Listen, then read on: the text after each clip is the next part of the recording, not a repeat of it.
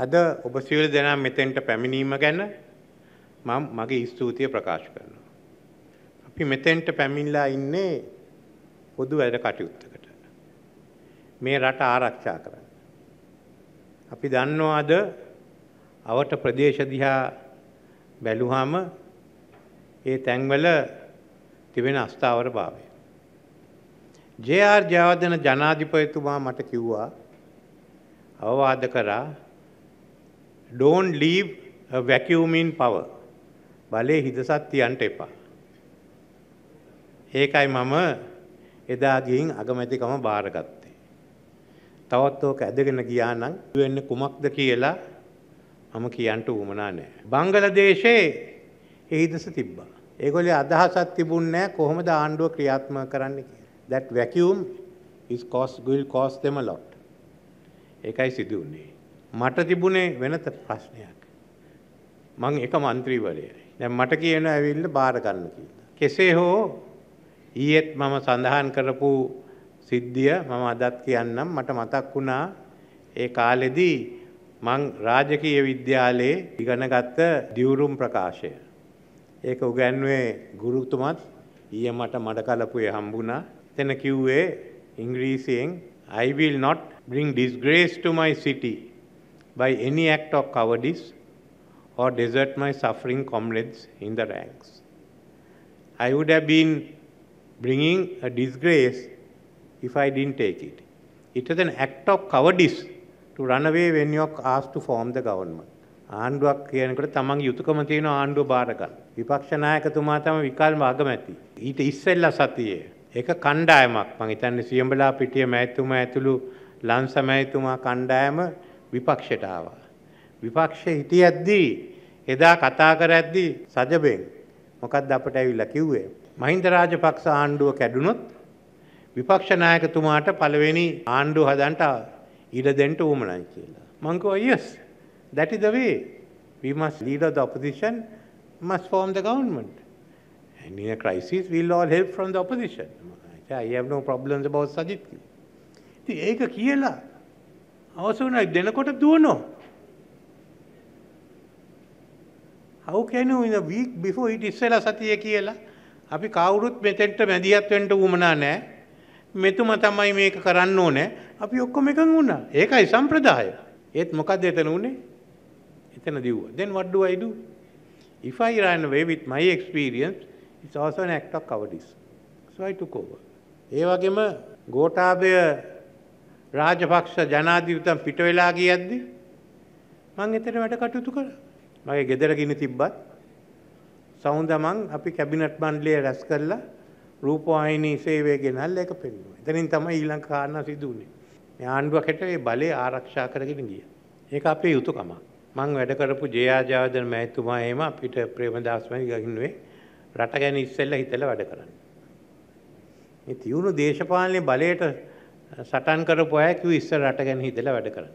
ඒ අනුව තමයි අපිට කරන්න තියෙන්නේ. මෙහෙම අවස්ථාවක ජනතා එකතු කරන්න ඕනේ. හිතන්න බෑ මම මේ පක්ෂේ මේක අනික් පක්ෂේ කියලා. ඒ කරන්නේ පළපුරුද්දක් නැති අය. immature people who don't know how a government is run. අන්න ඒකයි මම එතන බාරගත්තේ. මට බාර දුන්නාම දැන් මට එතනින් කණ්ඩායමක් හොයන්න තිබුණා. මම රංජිත් සියඹලා පිට ඇමතුමා මගේ රාජ්‍ය ඇමතිවරයෙක් කරගත්තා. එතුමා යහපාලන ආණ්ඩුවේ මම එක වැඩ කටයුතු කරලා තියෙනවා. වෙන කවුරුත් මම දැනගෙන හිටියේ නැහැ. මං ෂහාන් සේමසිංහ දැනගෙන හිටියා. මන්ත්‍රීයෙක් හැටිය. ඉතින් මම එතුමා තෝරගත්තා. ඒ දෙන්න ඇමතිවරු හැටියට විශාල සේවයක් කරා. අන්තිමට ගිහින් මම ගියේ නෑ IMF එකට යනකොට වාර්ෂික සාකච්ඡාවලට නෑ ගියේ. ඊළඟට මම අපේ අලි සබ්රි ඇමතුමා හිටව මුදල් ඇමති බංක මෙතෙන්ට එන්න. එතුමාටත් පුළුවන් රට ගිහින් වැය වැඩ කටයුතු කරන්න. අපේ ලොකුම ප්‍රශ්නේ තිබුණේ ඉන්ධන අංශේ බල ශක්තිය අංශේ. ඉතින් කාංචන ඇමතුමත් එතෙන්ට ගත්තා. ඒ කණ්ඩායම තමයි කරේ අපි බන්දුල ඇමතුමාට කිව්වා මේ ගැන මාධ්‍ය දැනුවත් කරන්න කියලා. මම ඒ වගේම නිලධාරීන් හොයාගත්තා. පළමුවෙන්ම යහපාලන ආණ්ඩුව යටතේ මුදල් අමාත්‍යංශයේ ලේකම් ආචාර්ය සමරතුංග මැතිතුමා මං අරගත්තා මගේ උපදේශක හැටියට. මං මහ බැංකුවේ අධිපතිතුමාටත් නන්දලාල් වීරසිංහ මැතිතුමාට ඉන්න කිව්වා අපි එක්ක වැඩ කටයුතු කරන්න. ඒ වගේම මහින්ද සිරිවර්ධන ලේකම් හැටියට තියාගත්තම කිසිම ප්‍රශ්නයක් නෑ. හතරවෙනි හැටියට මම මගේ මණ්ඩලික ප්‍රධානී සාගර රත්නායක මැතිතුමාට එන්න කිව්වා. ඒ වගේම අපිට උපදෙස් දුන්න ඉන්ද්‍රජිත් කුමාර සාමි මහත්මයාත් ශාන්ත දේවරාජ මහත්මයාත් කුරේ මැතිනීටත් අපි අරගෙන මේ කණ්ඩායම මේ වැඩ කටයුතු කරේ. අපි මේ කණ්ඩායම ඇති කරගත්තා. මං හිතන්නේ අපිට දුන්න සාර්ථකම කණ්ඩායම. ඒකම අනික් ඇමතුරු තමන්ගේ වැඩ කටයුතු කරා. අගමැතිතුමා පාර්ලිමේන්තුව බලාගත්තා. මෙතුමා ආණ්ඩුවේ වැඩ කටයුතු දිහා බලාගත්තා සුසිල් ප්‍රේමජයන්ත. අපේ නිමල් සිරිපාල ඇමතිතුමා විශේෂයෙන්ම වරාය ගුවන් සේවා අපිට ක්‍රියා කරන්න තිබුණා. ඒ කාලේ සල්ලි නෑ ඒකටත් හරින් ෆර්නෑන්ඩෝ මැතිතුමා සංචාරක එහෙම ගණනාවක් මේ ටීම් එකක් අපි වැඩ කරේ. කුඩා කැබිනට් එකක් අපි ටීම් එකක්. කොහොම හරි අපි මේ වැඩේ කරා අවුරුදු දෙකකින්. එක පක්ෂකින් නෙමෙයි අච්චාරුවකින් ඒත් රට ගැන හිතලා අපි වැඩ කරා. මේ පාර්ලිමේන්තු කණ්ඩායමේ උදව් දුන්නා. දැන් අපි යම් කිසි ස්ථාවරයකට ඇවිල්ලා තියෙනවා. අපි මූලික වශයෙන් රටවල් 18යි IMF සංවිධානයයි ලෝක බැංකුවයි ADB සමග ගිවිසුමකට ඇවිල්ලා තියෙනවා. මේ ගිවිසුම ඉස්සෙල්ලම කතා කරන්නේ ඔයගොල්ලෝ අනුමැතිය දුන්න IMF එකට. එතන එක ගත්තාම එතන අවසන් වුණේ නැහැ ඊට පස්සේ. දෙවනුව අපිට තිබුණා චීනයයි අනික් රටවල් එක්ක කතා කරන්න. දැන් චීනේ බලාගෙන ඉන්න අපි අනික් රටවලට විශේෂයක් කරයිද කියලා. අනික් රටවල් බලාගෙන අපි චීන එක්කට විශේෂයක් කරයිද කියලා. ඉතින් මෙතනින් තමයි අපි එකට එකතු වෙලා අන්තිමට එංගත්වයකට ඇවිල්ලා තියෙනවා. ඒකත් ආවෙන් පස්සේ IMF සංවිධානට සියලු දෙනා වෙනුවෙන්ම ක්‍රියා කරන්නට තිබුණ නියෝජිත බලය දැන් ඉවරයි. The power given to the IMF by others to negotiate is now over. අපි 18 දෙනා එක්කම අත්සන් කරලා තියෙනවා. සංවිධාන තුන එක්කම අත්සන් කරලා තියෙනවා. ඒකයි දැන් මෙතන තියෙන්නේ. එහෙනම් මේ අනුව අපි වැඩ කටයුතු කරන්න තියෙනවා. එන අවුරුද්දට රුපියල් ට්‍රිලියන 5ක් බිලියන 5000ක් අපි ආදායම හොයාගෙන වැඩ කටයුතු කරන්න තියෙනවා. දැන් මං අහන්නේ තමන්ගේ ඡන්ද ප්‍රකාශ වලින් බදු අඩු කරනවා මේක නොමිලේ දෙනවා අරක නොමිලේ දෙනවා කිව්වහම මේ ගිවිසුම කැඩෙනවා. එහෙනම් වෙන තැනකින් මුදල් හොයන්න ඕනේ. වැට් අඩු කරොත් ආදායම් බදු වැඩි කරන්න ඕනේ. එකක් වෙනස් කරන්න බෑ ට්‍රිලියන් පහ ඕන්නම් කොහොමද ගේන කියේ හොයාගන්න එක වෙනස් කරන්න පුළුවන්. ඒත් මේ ඉලක්කේ ඉන්න ඕනේ. ඉතින් දැන් මේ ඉලක්කේ දෙන්නේ නැත්නම් මොකද්ද වෙන්නේ? ඒගොල්ලෝ කියනවා අපි කතා කරන IMF එකට. IMF එකට කතා කරලා වැඩන දැන් IMF එකට බලතල නැහැ අනික් විශ්ව වෙනුවෙන් කතා කරන්නේ. that power is over now. ආපහු ගිහින් මේ අයක කතා කරන්න ඕනේ. ඉතින් මේ රටවල් එක කතා කරන එක ලේසි වැඩක්ද? පෝලන්ත එක කතා කරන්න, හංගේරියා එක්ක කතා කරන්න. ඒ මිනිස්සුන්ට තියෙන ලොකු වැඩ මේ අපේ ණය නෙමෙයි. ඒගොල්ලෝ තියෙන යුරෝපීය සංගමයේ ප්‍රශ්න. ඉතින් අපිට ආධාර දුන්න හැම රටක් එක්කම කතා කරලා ඔක්කොම එකඟ වෙන්න ඕනේ. ඕක කරන්න පුළුවන්ද? කොච්චර කාලය යනවද? අනික අපිට මුදල් දෙන්නේ IMF එකෙන් තමයි මුදල් දෙන්නේ හැම මාස 6ටම අපිට මුදල් දෙනවා. එයා IDB එකයි ලෝක බැංකුවකින් ඩොලර් මිලියන 700ක් විතර හම්බ වෙනවා. දැන් ජපානයේ අනික් අයගේ ආධාර එන්න තියෙනවා. දැනට අපි දැන් අවසන් කරලා තියෙනවා දෙවනි කාර්තුවයක ඒ මුදල් ටික පෙබ්‍රවරි මාසේ නේද? පෙබ්‍රවරි මාසේ අවසන් වෙනවා. ඉතින් අපි ඒ ඊට ඉස්සෙල්ලා ආපහු සාකච්ඡා කරලා මේ මුදල් ලබා ගන්න තියෙනවා. දැන් සැප්තැම්බර් අන්තිම එකේ ඔක්තෝබර් මාසේ ආවහම ඒ අයිල බලන්න අපි මේ ගිවිසුම අනුව ක්‍රියා කරාද මොකක්ද ඊළඟ මාසය කරන්න. අපි කින් කිව්වොත් අපි මේක සංශෝධනය කරනවා කියලා මොකද්ද වෙන්නේ? අපි මේ ගැන අපි ක්‍රියා කරන විදිහට කරොත් ඊළඟ මාසයට සල්ලි හම්බෙයි. පෙබ්‍රවරි මාසේ ඉඳන්. ඒක ක්‍රියාත්මක නැකරුවොත් මොකද්ද වෙන්නේ? අපි සංශෝධනය කළොත් එතකොට ඊට පස්සේ සල්ලි දෙන්නේ නැහැ මේ ගැන එකගත්වයකට එනකම්. එහෙනම් තමන් ලෑස්ති වෙලා ඉන්න ආපහු ගෑස් සිලින්ඩරේ ඔක්කොම එකතු කරගෙන ෆෙබ්‍රවරි මාසේ ඉඳන් පොලිමේ ඉන්න. ඒකයි වෙන්නේ. ඉතින් ඕක කතා කරන්න අලුතෙන් කතා කරන්න මාස කීයක් යයිද? එක එකකට වෙනවානේ. සාමාන්‍ය අපිට තියෙන මාස දෙකක් කතාව. මෙහෙම එකක් යනකොට මාස 4ක් 5ක් යයි. ඊළඟට එතන ගිහින් සාකච්ඡා කළා. අනික් රටවල් වලට ගිහින් මාස 6ක් 8ක් යයි. ඉතින් අපි මාස 8ක් ඉන්නවද මේ මුදල් නැතුව? ඉන්න පුළුවන්ද? ඉතින් මේ සටන කවුද ජනාධිපති නෙමෙයි අපි කොහොමද ජීවත් වෙන්නේ කියන එක. ඒ තීරණය අරගන්න ඕනේ. ආපහු බොරු කරලා යනවනම් අපි වැටෙන ආර්ථික ස්ථාවරභාවය අපිට ඕමනයි. මෙතනින් අපි දියුණු වෙලා එන්න ඕනේ.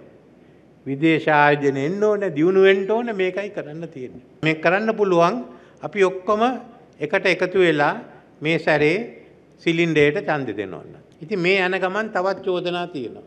මං හිතන්නේ අපේ තරම් සුදුසු ආර්ථික කණ්ඩායමක් වෙන එක පක්ෂයකටවත් නැහැ. මේ කවුද ඉන්නේ කියලා මන් දන්නේ දැන් ලෝකෙ පිළි අරගෙන තියෙනවා මේක හොඳ කණ්ඩායමක් කියලා. මං යනකොට අහනවා කවුද මේක කරේ? කොහෙද දුන්නේ? පිටින් ආධාර ගත්තද? ඔයගොල්ලෝ ඇවිල්ලා අපිට උපදෙස් දෙන්න පුළුවන්ද කියලා අහනවා. ඒ පාකිස්තානයේ හිටපු අගමැතිතුමා කතා කරලා උපදෙස් දුන්නා. මේ ටීම් එක මේ මේක අල්ලන්න බෑ. මේ ඔය දෙකේ මන් දන්නවනේ ඉන්න මිනිස්සු. සමහරු මං හදලා දැම්මෑ මන් දන්නවනේ. ඉන් තමන්ගේ අනාගතේ මගේ නෙමෙයි තමන්ගේ අනාගතේ බාර දෙන්න කැමතිද මෙයාට එච්චර හිතන්න තියෙන්නේ. ඊළඟට කියනවා හොරු අල්ලනවා කියලා. ඉතින් මම හොරු අල්ලන කතාවක් කියන්නම්. අපි 2015 මෛත්‍රීපාල සිරිසේන මැතිතුමා ජනාධිපති කරන්ට අපි ගිවිසුමකට ආවමු. එක්සත් ජාතික පක්ෂයේ දේශපාලන කණ්ඩායමුත් ජනතා විමුක්ති පෙරමුණත් ඒ වගේම ද්‍රවිඩ පක්ෂ. අපි ඔක්කොමට එන්න කියලා ආණ්ඩුවට නෑ ඔයගොල්ලෝ ආණ්ඩුව හදන්න කිව්වා මේ දෙක විපක්ෂේ ඉන්නම් කියලා. ඒත් ද්‍රවිඩ පක්ෂික අපිට උවමනයි අපේ මූලික දේශපාලන පක්ෂ ප්‍රශ්නවලට විසඳු. ජනත විමුක්ති පෙරමුණකව අපිට උවමනයි දූෂණය ගැන හොයලා බලන්න. ඒ වගකීම අපිට බාර දෙන්න කියලා. ඉතින් ආණ්ඩුවක් ආවාම දැන් දූෂණය ගැන හොයන්ට අපි දැම්ම. එතන උනේ දෙන්න එක පැත්තකින් වැලි අමුණ මැතිතුමා කිව්වා අපි මේ කරන්න ඕන කියලා. අනිත් පැත්තෙන් JVP එක ඒ අය කරන්න ඕන කියලා. ඉතින් වැලි අමුණ මැතිතුමා ජනාධිපති කාර්යාලයට ගත්තා. ඊට අමතරව පොලිසියෙන් රවි සෙනවිරත්නය රවි වෛද්‍ය අලංකාර පත් කරා. අල්ලස් කොමිසම තිබුණා. ඊළඟට දූෂණ පිළිබඳ ලේකම් කාර්යාලයක් ඇති කරා. ඒක මුදල් දෙන එක අගමැති කාර්යාලයෙන් කරන්න කිව්වා. දැන් ඉතින් පත් කරන්න කිව්වේ පත් කරන්න ඕන පුද්ගලයා ජනතා විමුක්ති පෙරමුණේ. ඒගොල්ලෝ ආනන්ද විජේපාල මැතිතුමා පත් කරා. මම දන්න හැටියට මේ වැඩේ කරනවා නම් ප්‍රධානය පොලිසියේ ඉන්න ඕනේ නැත්නම් නීතිඥයෙක් වෙන්න ඕනේ. ආනන්ද විජේපාල මැතිතුමා නීතිඥයෙකුත් නෙමෙයි එතුමා ආගෙන ෆයිල් 400ක් අරගෙන ඒ ෆයිල් 400 එතුමන් නම් කරා සමහර අය ඒක එව්ව එතෙන්ට එතනින් ගිහින් පොලිසියට ගියා පොලිසියෙන් නීතිපති දෙපාර්තමේන්තුවේ තුසිත් මුදලිගේ මැතිතුමාට ගිහින් උසාවියට ගියා සමහර ඒවා සාර්ථක අනෙක්ව අසාර්ථක වුණා. ඉතින් මට බැනලා වැඩක් නැහැනේ. මට තිබුණේ මුදල් ටික දෙන්න එච්චරයි. මං කියන්නේ මීයෝ අල්ලන්න ඕන නම් ඇත්ත වශයෙන්ම දත් තියෙන බලලෙක් දාන්න ඕනේ. බලලට දත් නැත්තම් මට බැනලා වැඩක් නැහැ. ඕකයි ඇත්ත. මම කැමති නෑ දූෂණයට. අනික අපිට පෙවුන මට පෙවුන ඒ වෙලේ නීතියේ අඩුපාඩුකම් තියෙනවා. මේ කවුරුත් අඩුපාඩුකම් බැලුවේ නෑ. මේ සැරේ ජනාධිපති වුණාම IMF එක කතා කරලා මං කියන ඔයගොල්ලෝ නීති ටික අපිට හදලා දෙන්න. දූෂණ විරෝධී නීතිය අපේ හිටපු අධිකරණ ඇමතුමා හැදුවා. ඉතුරු ටික අරගත්ත ඒගොල්ලෝ ප්‍රොසීඩ් ඔෆ් ක්‍රයිම්ස්. ඒකත් මම ඉංගලන්තේ නීතිය ගේන්න බැලුවා. එතුමා කොමිටියක් දැම්ම කන්තියට මං කමන්නේ කොමිටිය වැඩ කරලා තියෙන නිසා අපි ඒක සම්මත කරන්නම් කියලා. ඉතුරු නීති ඔක්කොම දීලා තියෙන IMF. ඉතින් මේ ටික අපි ක්‍රියාත්මක කරනවා. ක්‍රියාත්මක කරනකොට ඒ කිව්වා මේක ක්‍රියාත්මක කරන්න අපේ අයට පළපුරුද්දක් නෑ. ඒ නිසා අපිට වෙනම මුදල් හම්බෙනවා ලෝක බැංකුවෙන් උයි වෙනත් රටවල් වලින් මේ අය පුහුණු කරන්න. ඉතින් මේකයි තියෙන්නේ. කොහොමද මට බැනලා වැඩන්නේ මං ඒ ගැනත් කියන්නම් කියලා. Taman දානවා. Taman දැනගන්න ඕන කවුද දාන්නේ කියලා. ඉතින් මේ මේ මේ කතා යනකොට ඔය කෑ ගහනවා විතරයි. මේ ආණ්ඩුවෙන් තමයි අපි මේක ක්‍රියාත්මක කරාම දකුණු ආසියාවේ හොඳම දූෂණ විරෝධී නීතිය තියෙන්නේ ශ්‍රී ලංකාවේ කියලා කියන්න කැමතියි. දකුණ ආසියාවේ අග්නිග්ධ ආසියාව දිහා බැලුවොත් මං හිතන්නේ සිංගප්පූරුව හැර දෙවනි තැන ගන්න. ඉතින් අපිට තියෙන්නේ රටේ ආර්ථිකය මේ ඔක්කොම කතා කරන්නේ ආර්ථිකය විසඳන්න බැරි නිසානේ. හොරු අල්ලන්න ඕන හොරු අල්ලන්න බෑ. මෙයා උසයි මෙයා කොටයි වැඩක් නැහැ. අපිට අපේ අනාගතය ගැන හිතන්න. ඒක රැහෙන්න තමයි ආර්ථික පරිවර්තන නීතිය ගෙනාවේ. මොකද අපි ආනායනය පදනම් කරගත්ත ආර්ථිකයක් වෙනුවට අපනෑන ආර්ථිකයක් වෙන්න ඕනේ. ඒ නීතිය දැන් ලෑස්ති. ඒකට වුවමනා ආර්ථික කොමිසම ඔක්කොම තියෙනවා. දැන් තියෙන ඉදිරියට යන්න ඡන්දෙන් පස්සේ. ඒකම ලෝකෙට ආහාර සපයන්න ආපහු යන්න. සංචාරක ව්‍යාපාරය දියුණු කරන්න. බලශක්තිය. ඉන්දියාවට ඕන තරම් බලශක්ති යොදවන්න පුළුවන්. ඒකට වුවමනයි ස්වාභාවික බලශක්ති. ඕන තරම් විකුණන්න පුළුවන්. මෙහෙම අලුත් විදියට හිතලා අලුතෙන් ඉදිරියට යන්න. ඒකයි අපිට කරන්න තියෙන්නේ. ඩිජිටල් යුගයකට යන්න. මේ සියලු දෙනාම ඊළඟ අවුරුදු 4 5ේදී ඩිජිටල් කරණයේ අනු වැඩ කටයුතු කරන්න තියෙනවා. අලුත් යුගයකට යන්න. අලුතෙන් හිතන්න. අපේ දැන්ට තියෙන දළදේශීය නිෂ්පාදනය බිලියන 85යි. මං කියන්නේ අවම වශයෙන් 2045 වෙනකොට ඒක බිලියන ඩොලර් බිලියන 350ක්වත් කරන්න ඕනේ. වඩා යනවා නම් මං කමන්නේ. ඉතින් මේකයි ඉතින් අපේ අනාගතයේ තියෙන වෙන එකක් නෙමෙයි. මේ වැඩසටහන් ක්‍රියාත්මක කරන්න මං එක කණ්ඩායමක් ඉන්නවා. ඒ විතරක් නෙමෙයි. මේ ඡන්දයෙන් පස්සේ තරඟකරු පක්ෂ දෙකත් කැමති නම් අපි එක එකතු වෙලා පුහුණුවක් ලබා ගන්න ඒකත් ලබා දෙන්න.